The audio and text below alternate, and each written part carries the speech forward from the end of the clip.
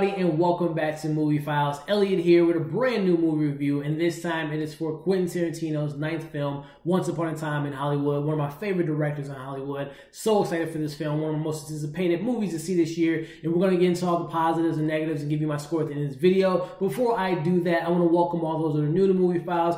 If you're not too familiar with our channel, we are all about movies. We talk about the latest movies. We break down our favorite trailers for new movies. We talk about our favorite TV shows. We do unboxing videos for new releases, and we also do giveaways. So definitely do us a favor hit that subscribe button, and make sure you hit that notification bell so you can stay up to date with all of our videos and follow us on all of our social media accounts, which you can find in the link below. But with that being out of the way, let's get into this non-spoiler review for Once Upon a Time in Hollywood.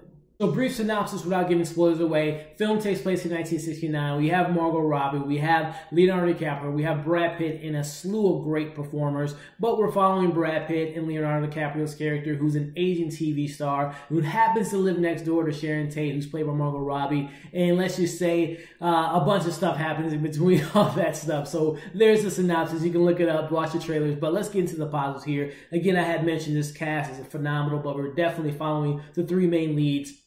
Leonardo DiCaprio, we've all seen his films. We know he's going to bring his A game, but it was very interesting to see him kind of play this aging star who's kind of you know being who's a TV star and trying to transition to films and not really being accepted by that particular uh, community and just kind of being kind of a downer. We really don't see that in Leo's character, so it was really interesting to see him play that role and he played it to the T. Him and Quentin Tarantino, Quentin Tarantino have done films before and they just knock it out of the park with their uh, you know director and, and actor uh, duo that they have. But without a doubt the best performance in this film for me is uh, portrayed by Brad Pitt, who is Leo's friend, which this film touches touches a lot on friendship, which I really didn't think that was going to be like kind of the main thread of the story story that we got here. But Brad Pitt playing uh, Clifford, we all need a friend like Clifford, right? Once you see the movie, you know what I'm talking about. He was so great. He had the best one-liners. He had the best lines in the film. He's definitely one of those characters that you you can expect to see in a Quentin Tarantino film that you're going to gravitate to. It's just going to be such a cool character. He definitely had that uh, that place in the film to do that. And I love uh, Brad Pitt's performance in this movie. Again, it's just it's it's a comedy. He really really lands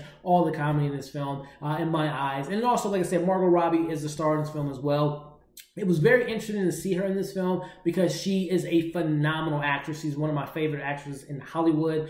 But I gotta say, she didn't really have that much to do. She's in the film a lot, but the character Sharon Tate, as we all know, the you know what happens with her, and that was kind of the, the interesting spin on what Quentin Tarantino was to do in this movie, which I won't touch on. But you know, she really, I was really kind of disappointed in that we really didn't dive deep into this character. Again, I think Quentin Tarantino might have did that just to he didn't want to you know, kind of stain the, the legacy of this uh, actress that was you know, brutally murdered uh, back in the in the 60s by the Manson family, which they have some, uh, um, you know, appearance in this film. But I really wanted to get a little bit more of Margot Robbie's uh, uh, character. But outside of that, I thought everyone else that was on screen, that had a little cameo, that had a, you know, a big moment on the screen. There's this one scene, there's a little girl, I can't think of the actress's name, but it's someone I'm going to keep an eye out for. She was great. She shared some really great moments with Leo's character. I thought that, that, that, that character was phenomenal. And again, everyone that made a cameo from, you know, seeing Luke Perry, which, you know, he passed away earlier this year. Seeing uh, Al Pacino, seeing the entire cast come together was just great, and it really just a really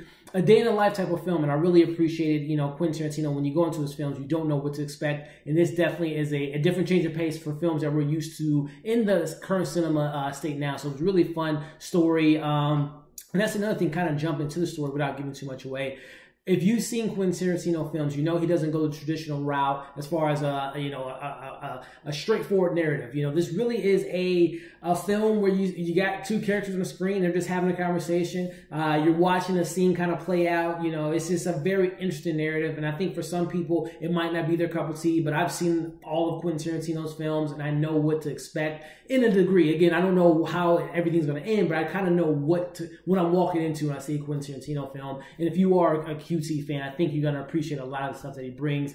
On the scale of directing we all know he's a great director, he's a great writer, but as far as bringing the 60s to life, I'm not I was born in the 60s, but I felt like I was in that era. The the way he brought Hollywood to life, the way that the the soundtrack and the score and the the way people talked and the way they dressed was just it took you to that time and I think this was definitely a love letter for Quentin Tarantino for people that maybe grew up in that time and really appreciate the story of Hollywood. So, you know, from the acting, the directing, the performances, um, the the comedic moments that we got again Brad Pitt my favorite character. I really enjoyed this film. Going into the negatives, I touched on a little bit again.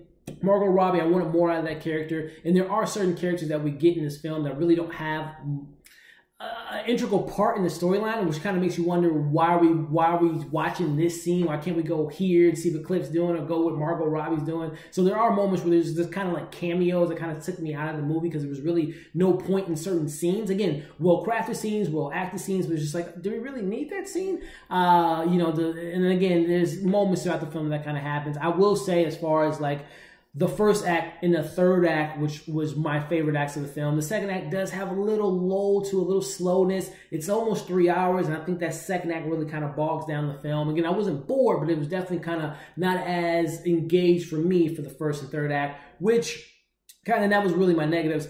Something I want to warn you guys about, uh, and I, not warn you, but I think you're going to either love or maybe not like this film as much if you're not on board with the third act which, as we know with Quentin Tarantino, again, him tackling this time of era with the Sharon Tate, with the Manson family. I'm not going to say where the things go, but it gets pretty off the rails in a good way in my eyes. And I think, again, if you're not on board with that last, uh, the last act, I, I, will be really interested to see how you feel about the film. But for me, I, I really enjoyed that third act, and I thought it was a very crowd pleasing moment in that third act, and just really great. And I'll just leave it at that. So wrapping up this review, it, it lived up to my expectations. Again, when I go into Quentin Tarantino films, I expect to be very entertained for what he brings to the big screen. I love how he writes movies, how he builds characters, how he tells the way he tells his own stories. And I got that out of this film. And I think this is definitely not one of my favorite Quentin Tarantino films, but it's definitely, uh, you know, uh, uh, one of my favorite films of the year so far. And that goes a lot to say what kind of director he is because he's had some classics under his belt. And I wouldn't necessarily say this is a classic. This is definitely a great film, one of the best films in the theater right now. So I suggest you guys check it out. With that being said, I'm to give this film a 4.8 out of 5. It's almost a perfect film for me. It's just, again, I thought that Margot Robbie, I wanted more of her character. I felt like there were some cameos that just kind of took away some of the tension that could have been more in the, in the movie and some more attention to other characters. But all in all, I really enjoyed it. And that third act is a great payoff. So, again, check it out. 4.8 out of 5 for me. Um, this is his ninth film has been rumored this he has one more in his belt. Is it going to be Star Trek? Is it going to be Kill Bill 3? Whatever it is, I'm excited for it. Let me know in the comments once you've seen this film without spoiling anything what you thought about the movie, where this ranks for you in the Quentin Tarantino filmography. Let me know in the comments. Again, I'm scrubbing over my words. Subscribe to our channel. Uh, hit that notification bell. Make sure you guys are following us on all of our social media accounts. Stay up to date with our latest videos by hitting that notification bell. Thank you guys for watching this review, and we'll see you on the next one. Bye.